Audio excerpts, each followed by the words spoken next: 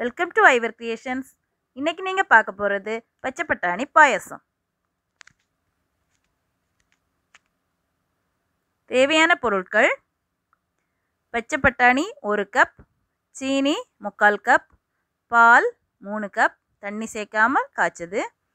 நெய் மூணு table spoon முந்திரி அஞ்சு பாதாம் அஞ்சு ஜவ்வரிசி அரை கப் ஏலக்காய் மூணு.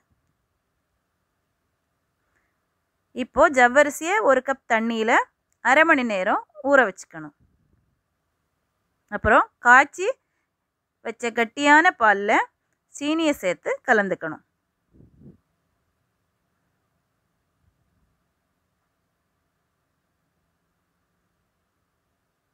அடுப்பு ஆன் பண்ணி ஒரு கப் தண்ணியில் பட்டாணி சேர்த்து வேக வச்சுக்கணும்.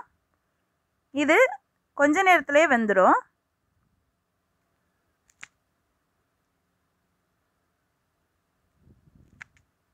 பச்சை பட்டாணிக்கு பதில் குருமாக்கு யூஸ் பண்ணுற பட்டாணியையும் நம்ம யூஸ் பண்ணிக்கலாம். ஆனால் அதை ஊற வச்சு குக்கரில் வேக வச்சுக்கணும். இப்போது நல்லா வெந்துடுச்சு. தண்ணியும் இல்லை பாருங்கள்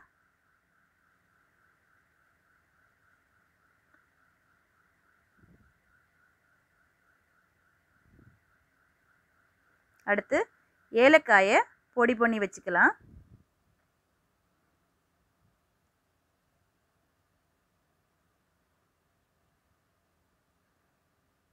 இப்போது வேக வச்ச பட்டாணியை மிக்சியில் போட்டு கொர கொரப்பாக அரைச்சிக்கணும்.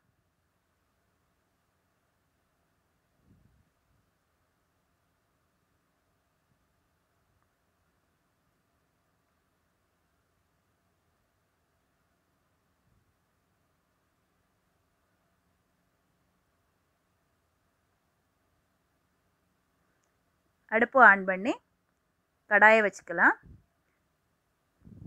கடாயில் தண்ணியில் ஊற வச்ச ஜவ்வரிசியை சேர்த்துட்டோம். இது வெந்து வர்ற அதே டைமில் இன்னொரு கடாயில் ரெண்டு டேபிள் ஸ்பூன் நெய்யை விட்டுக்கலாம்.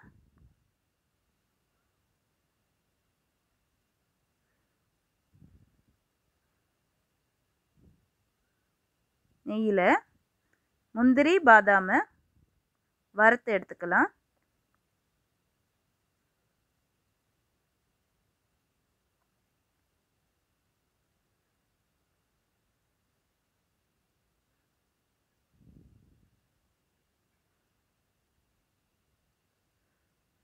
இது ஒரு கிராண்டான பாயசம். பர்த்டே பார்ட்டி மாதிரி அக்கேஷன்ஸ் எல்லாம் வந்துச்சுன்னா இந்த டிஷ்ஷை நீங்கள் செஞ்சு அசத்தலாம். எல்லோரும் விரும்பி சாப்பிடுவாங்க. இப்போது இதே நெய்யில் அரைச்சி வச்ச பச்சை பட்டாணியை வதக்கிக்கணும். கலர் மா மாறாமல் வதக்கிக்கணும். தீ அதிகமான கருகி போயிடும். க்ரீன் கலரும் மாறி போயிடும். ஸோ சிம்மிலேயே வச்சுக்கோங்க.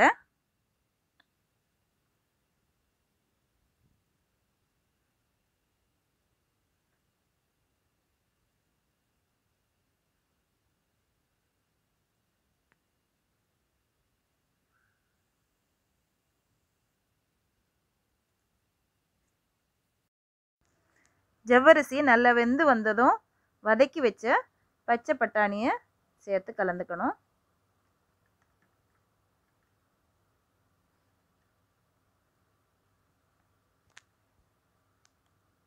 நல்லா மிக்ஸ் பண்ணிக்கணும்.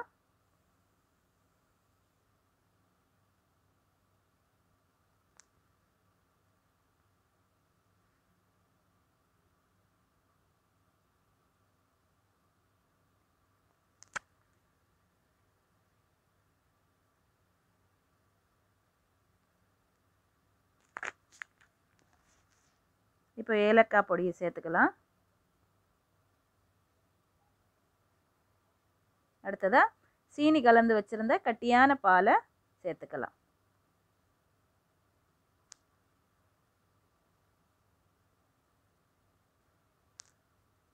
அஞ்சு நிமிஷம் நம்ம நல்லா கொதிக்க விட்டால் கட்டியாக பாயாச பதத்துக்கு வந்துடும். இப்போ கொதிச்சிடுச்சு. கொஞ்சம் கொஞ்சமாக கட்டியாயிட்டே இருக்குது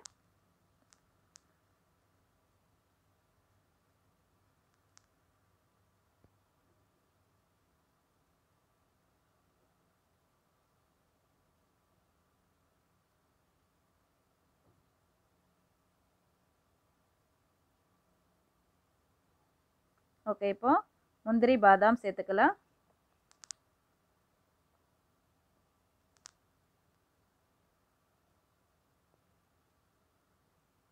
இப்போது மீதி இருக்கிற ஒரு ஒரு ஸ்பூன் ஒரு டேபிள் ஸ்பூன் எக்ஸ்ட்ரா இருந்துச்சு. அதையும் நம்ம நெய்யை சேர்த்துக்கிட்டோம்.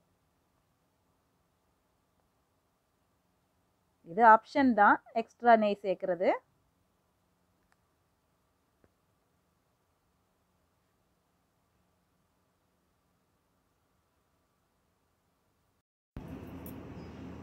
இதோ அருமையான க்ரீன் கலர் பாயசம் ரெடி ஆயிடுச்சு. இப்போ சர்வ் பண்ணிக்கலாம். ஃப்ரெண்ட்ஸ் நீங்கள் இதை ட்ரை பண்ணி பாருங்கள் சூப்பராக இருக்கும்.